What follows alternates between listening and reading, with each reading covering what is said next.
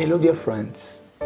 ISICO has always been very sensitive to the importance of transmitting informations.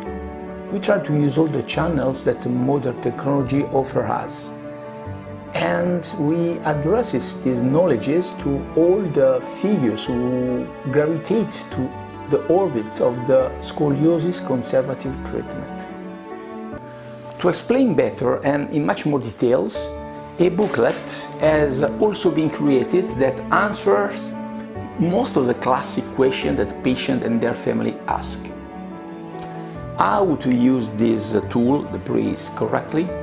What can you do and what will be difficult to do with the brace worn? What to do if the brace is too tight or break?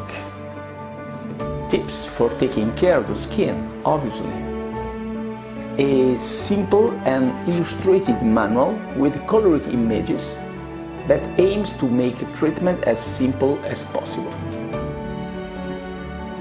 Of course, the treatment with the brace will continue until the end of bone maturity. But finally, the happy moment of brace living arrives. Now, it will appear all the questions related to things to know for the future life. Another manual, another booklet has been prepared that answer the end of therapy questions. Could the residual curve be a problem when the adult patient expects a baby, for example? What to do in case of pain? Or if the curve worsens in the following years? These are the more typical questions at the end of treatment and which the second manual tries to answer. The manuals are available in English on this page, where you will also find the translation into other languages.